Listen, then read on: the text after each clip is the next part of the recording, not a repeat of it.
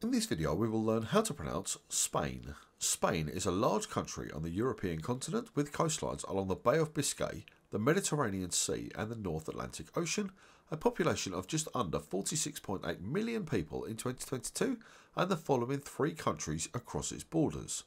Andorra, France and Portugal and you pronounce Spain like this. Spain. Spain. Spain.